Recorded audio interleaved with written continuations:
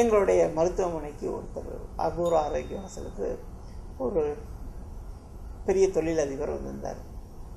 அவருடைய அண்ணன் தம்பி அக்கா தங்கை எல்லாருமே அவங்க ஃபேமிலி ஃபுல்லாமே டாக்டர்ஸ் அவங்களுடைய ஹஸ்பண்ட் ஒய்ஃபு அவங்க பேர குழந்தைங்க எல்லாருமே டாக்டர்ஸ்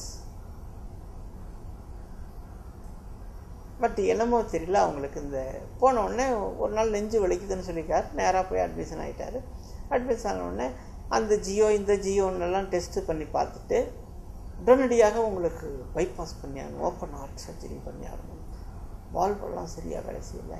நிறைய அடைப்பு இருக்குது அப்படின்னு சொல்லிக்கிறாங்க அவங்க நைட்டு அன்றைக்கி உட்காந்து அவங்க ஃபேமிலி மீட்டிங் எல்லாருமே கிட்டத்தட்ட ஒரு பதினாறு பேரோ நினைக்கிறாங்க ஃபேமிலியில் டாக்டர்ஸ் இது ஒரு எட்டு ஆண்டுகளுக்கு முன்பு நடந்த சம்பவம். எல்லாம் பேசிட்டு சர்ஜரி எல்லாம் சும்மா waste their leading allopathy doctors நான் சொன்ன நபர்கள் எல்லாம் உட்காந்து பேசிட்டு அதெல்லாம் வேண்டாங்க. வேறு ஏதாவது ஒன்று யோசிக்கலாமேன்னு யோசிச்சு சரின்னு எப்படியோ கேள்விப்பட்டு அபூர்வ ஆரோக்கிய வாசலுக்கு வந்தாங்க.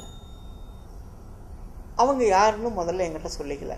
எல்லா டெஸ்ட் பண்ணது ரிப்போர்ட் எல்லாத்தையும் கொண்டு வந்து காமிச்சிட்டு சரின்னு பார்த்துட்டு இந்த அடைப்புகளை மருந்து மாத்திரைகள் இல்லாமல் வேறு வழியில் உங்களுக்கு என்ன தேவையோ அந்த ஃபீஸ் நாங்கள் கொடுத்துட்றோம் மருந்து மாத்திரைகள் இல்லாமல் ஏதாவது சரி பண்ண முடியுமா அப்படின்னு கேட்டாங்க.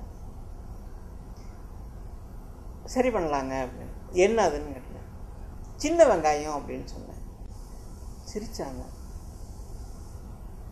ஆமாங்க சின்ன வெங்காயம் தினம் காலையில் காலையில் பத்து சின்ன வெங்காயம் சாப்பிடுங்க. சாப்பிட்டுட்டு கொஞ்சோண்டு சுத்தமான தேன் சாப்பிடுங்க. ஐயோ அவருக்கு சுகர் இருக்குதுங்க சுத்தமான தேன் சுகர் பேஷண்ட் சாப்பிடலாம் அப்படின்னு உடனே அவங்க ஏதோ கொஞ்சம் நெட்லலாம் சர்ச் பண்ணியிருப்பாங்களாட்டிருக்கு. இப்போ நான் எங்கிட்ட உட்காந்து பேசிகிட்டு இருக்க பேசிகிட்டு இருக்க அங்கே ரன்னிங் கமிட்டி வெளியில் ஓடிட்டு இருக்குதுங்க. எல்லாம் கேட்டு முடிச்சுட்டு டக்குன்னு கடைசியாக ஒரு பதினஞ்சு நிமிஷம் டிஸ்கஸ் பண்ண உடனே இதை பண்ணுங்க போதும் அப்படின்னு சொல்லி சொன்னாங்க. அதுக்குள்ளே அவங்களுக்கு சின்ன வெங்காயம் சாப்பிடும் பொழுது இரத்த குழாய்களுடைய அடைப்புகள் குறைக்கப்படும்னு சொல்லி நெட்டிலேருந்து டவுன்லோட் பண்ணியிருந்துருக்குறாங்க. அந்த பேப்பர் அவர் கைக்கு வந்துருச்சு. என்கிட்ட பேசின மருத்துவ அதிகாரிக்கு கிட்டத்தட்ட ஒரு அறுபது வயசு பக்கமாக இருக்கும். அவங்க அப்போ மருத்துவ அதிகாரின்னு எனக்கு தெரியாது. அப்புறமா உட்காந்து பேசிட்டு எல்லாம் எல்லா டீட்டெயில்ஸும் கொடுத்தப்பாடு காலையில் எழுந்திரிச்சோடனே செம்பருத்தி பூ ஒத்த எடுக்கிறக்கு இல்லைங்களா அதனுடைய இதழ் வெள்ளைத்தாமரை பூனுடைய இதழ் இது ரெண்டையும் காய வச்சு பவுட்ரு பண்ணி கண்ணாடி பாட்டிலில் போட்டு வச்சுட்டு காலையில் ஒரு ஸ்பூன் எடுத்து போட்டு ஒரு டம்ளர் தண்ணி ஊற்றி தண்ணியை நல்லா கொதிக்க வச்சு நாளில் ஒரு பங்கா சுண்டல் படி எடுத்து வடிகட்டி அந்த தண்ணியை குடிச்சிருங்க. காலையில் வெறும் வைத்து காலையிலையும் நைட்டும் செஞ்சுக்குங்க. காலையில் பத்து சின்ன வெங்காயமும் கொஞ்சம் தேனும் சாப்பிடுங்க. அப்படின்னு சொல்லிடுறாங்க.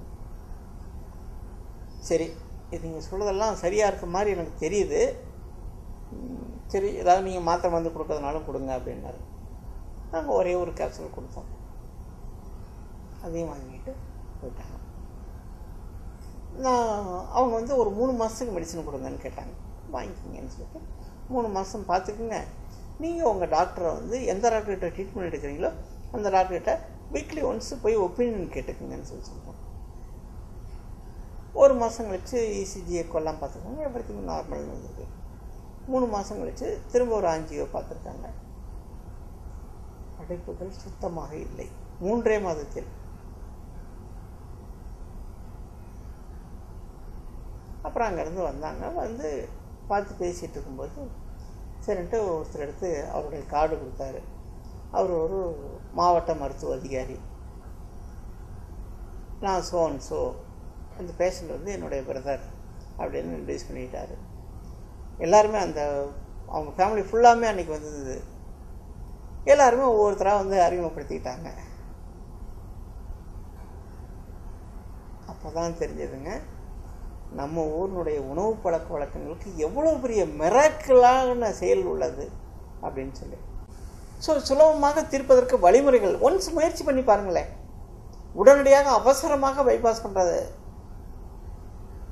பேஷண்ட்டை மட்டும் விட்டுட்டு அவங்களுக்கு நீங்கள் உங்கள் இஷ்டப்படி பண்ணிக்கோங்க.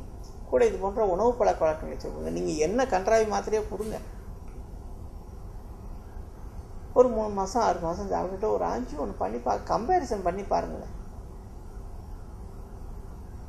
அந்த கன்சல்டிங் ஃபீஸ் நீங்கள் எவ்வளோ வேணாலும் வாங்கிங்க இது போன்ற அரிய மருந்துகளை தெளிவான விஞ்ஞானபூர்வமான ஆதாரங்களுடன் ஆறு அபூர்வ ஆரோக்கிய வசதியில் சிகிச்சை அளிக்கப்படுகின்றது. அதே மாதிரி இந்த கையை இப்படி பிடிச்சிங்கன்னா